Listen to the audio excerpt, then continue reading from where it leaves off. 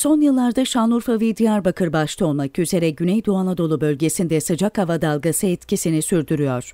Sıcak hava dalgasının insanları etkilediği gibi bölgedeki canlı türlerinin değişimine de etki ettiği uzmanlar tarafından gözlemlendi. Zooloji Anabilim Dalı Başkanı Profesör Doktor Ali Satar son yıllarda sıcaklığın yüksek devam etmesi, bu senede özellikle bölgede hava sıcaklığının yüksek devam etmesinin insanları etkilediği gibi hayvan gruplarını da etkilediğini, özellikle küçük canlıları, böcekleri çok etkilediğini söyledi. Bölgemizde hava sıcaklarının yüksek bir şekilde devam etmesi e, bizi de etkilediği gibi tabii ki hayvan e, gruplarında, topluluklarını da etkilemekte. Özellikle e, küçük canlıları e, mesela böcekleri e, çok etkilemekte e, bölgemizde bulunan türlerin değişimine sebebiyet vermektedir. Aynı zamanda bölgemizde bulunan kuşlar, işte diğer türlerin özellikle suya bağlı olan canlıları etki etmektedir. Çünkü neden? Yaşam alanları daralmakta. Bölgede bulunan türlerde değişim olduğuna dikkat çeken Satar, aynı zamanda bölgede bulunan kuşlar ve diğer türlerin özellikle suya bağlı olan canlılara etki ettiğini ifade etti. Farklı türlerin girişlerini biz bekliyoruz.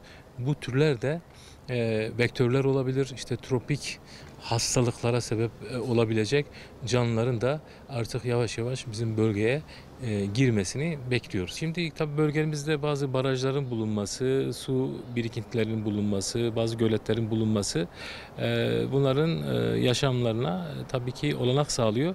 Fakat işte bu sıcaklıkla beraber buradaki mesela su debisinin azalması burada yaşayan balıklara bile etki etmektedir. Çünkü neden? Suyun kirlenmesine sebebiyet veriyor. Sıcaklıkların böyle devam etmesi, e, gittikçe artması e, ne yapacaktır? E, bunların yaşam alanlarının daralmasına sebebiyet verecek. Dolayısıyla birçok türün e, gittikçe tabii hemen değil, yavaş yavaş e, buralardan çekildiğini göreceğiz. Yerine farklı sıcaklığa dayanıklı farklı türlerin girişlerini gözlemleyeceğiz. Hava sıcaklığının e, artmasıyla bölgemizde e, bazı böcek gruplarının davranışlarında farklılıklar görülmeye başladı. Mesela yaban arıların e, bir araya gelerek e, normalde küme oluştukları pek görülmez ama e, bu sene e, biz bunlara şahit olduk.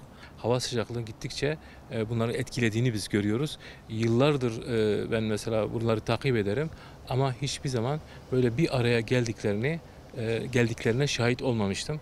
E, Birçok yerde e, ben bunları görebiliyorum.